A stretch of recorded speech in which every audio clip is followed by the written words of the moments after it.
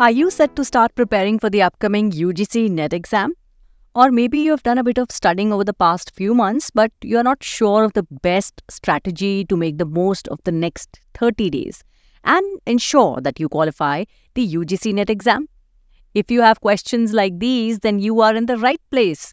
In this video, I will share a comprehensive strategy for both Paper 1 and Paper 2 that will help you ace the exam in just 30 days.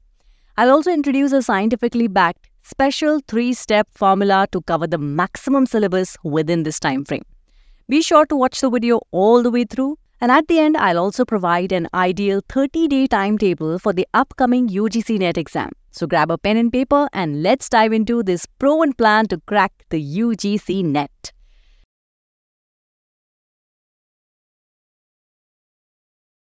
So before we get into the details, let's discuss why focusing on paper 1 during these final 30 days is so critical. You might think that with only 30 days left, the priority should be paper 2 given its extensive syllabus, right? So why am I suggesting that paper 1 deserves attention when there's so much to cover in paper 2? Now most students, they make the same mistake. They focus solely on paper 2 and neglect paper 1. However, many top scorers whose interviews we have shared on our YouTube channel admit that the reason they couldn't clear the UGC NET in their first attempt was because they ignored paper 1. Now, the UGC NET Paper 2 syllabus is indeed vast, requiring approximately 6 months to cover comprehensively. On the other hand, Paper 1 is much more limited and can be easily covered in 30 days. By dividing your time between Paper 1 and Paper 2, you will be thoroughly prepared for the exam day. Now, did you know that by studying smartly over the next 30 days, you can answer about 40 out of 50 questions correctly in Paper 1? So this high success rate in paper 1 can significantly boost your overall net score, potentially helping you qualify for the exam. Now with such limited time, focus on making paper 1 your strongest asset to gain those extra points that can place you on the cutoff list. Now that we have discussed why paper 1 is crucial and why you should focus on preparing for it, let's dive into a three-step formula to help you ace the UGC NET exam within the next 30 days. This strategy applies to both paper 1 and paper 2, but since the viewers of this video likely have various subjects for paper 2, I'll be using paper 1 as an example to explain the formula. Keep in mind that the same strategy can be applied to paper 2. So, let's start with step 1.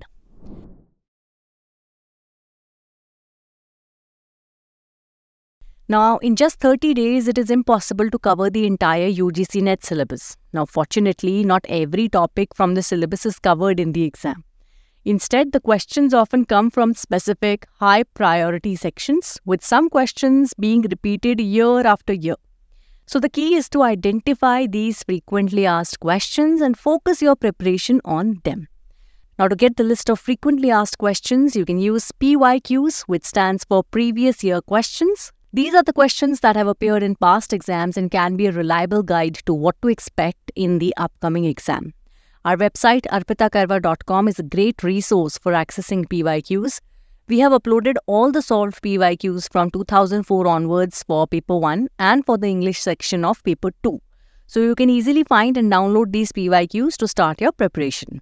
Now once you have the PYQs, the next step is to organize them according to the 10 units in paper 1. On average, each unit has about 5 questions in the exam and by separating the questions by unit, you can identify which topics are most commonly covered in each section. Additionally, you can find books in the market that are designed to provide unit-wise PYQs, which can also be a helpful resource. Now, as you go through the PYQs, you will notice that certain topics are frequently repeated, such as sustainable development goals, percentage change in data interpretation, blood relation and number series in mathematical reasoning, and action research and research methodology. So, by focusing on these commonly asked topics, you increase your chances of success. As you go through each unit, you will find that there are about 15 topics from each unit that is repeated every year in the exam. You have to create this list of all the 10 units. Now, the goal is to create list of approximately 150 topics. That is, 15 topics into 10 units that are most likely to be asked in the exam, forming a Lakshman Rekha beyond which you don't need to prepare. Now let me explain you what I mean by Lakshman Rekha here. See friends, with the list of 150 key topics, your focus for the next 30 days should be on mastering these core concepts. This applies to both paper 1 and paper 2. Stick to only these 150 topics and don't get distracted by additional resources or PDFs that your friends might recommend from Telegram or WhatsApp. Now, given the limited time, concentrating on these critical topics will maximize your chances of success. By thoroughly understanding these 150 topics, you can aim for an 80% to 90% score in the UGC NET exam. Now, as you review the PYQs, you'll also find that about 20% of the questions are extremely challenging. Don't be discouraged if you can't solve these difficult questions. Now, remember, your goal is not to score a perfect 100 in the UGC NET exam. Your aim is to get enough correct answers to surpass the cutoff, which is usually around 60%. So, if you can get about 60 out of 100 questions correct, you are on track to passing the exam. Approach the questions with this mindset, focusing on the questions you can solve rather than stressing over the toughest ones.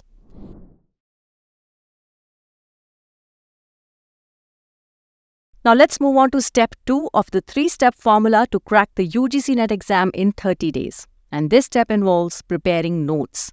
Now that you have a list of topics and frequently asked questions, the next question is, where do you study from? So this is where a simple mantra comes into play. One topic, one book, one teacher, multiple revisions. So in a competitive exam like UGC NET, there's no single book or course that covers all possible questions. Questions can come from a wide range of sources. So there's no single right book. Instead of getting influenced by your friends or others who claim to know the secret, choose a book or online course that works for you. If a friend tells you that they have found the ultimate resource, don't immediately abandon your current book to buy theirs. Ask yourself, is your friend the chairman of UGC? If not, then how do they know where all the questions will come from? Remember, your best guide is common sense. So, this reminds me of a quote attributed to Abraham Lincoln always independently verify advice given to you by eighth graders named Jimmy. Now, while this is a humorous way of saying it, the principle is valid.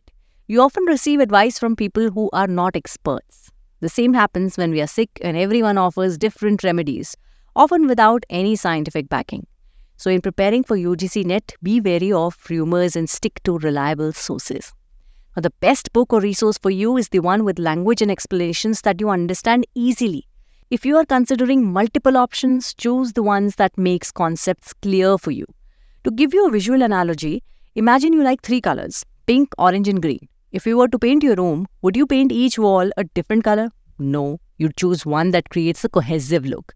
Likewise, jumping between multiple resources can create confusion, just like a room painted in multiple clashing colors.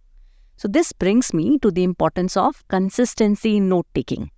Instead of bouncing from book to book, focus on a single resource and stick with it. So, this helps you cover the syllabus in a structured manner, avoiding the chaos of juggling between various resources. Our UGC NET Paper 1 and Paper 2 crash courses are designed with this approach in mind, covering key topics with animated lectures, mock tests, and other tools to guide you through the 30 day preparation period. If you wish to enroll in our crash course, call or drop a WhatsApp message displayed on the screen, and my team will be more than happy to assist you. So, here's the key takeaway for step 2 prepare your notes from one book or course and revise them multiple times. So, this focus will help you keep on track and ensure you have a solid grasp of the essential topics.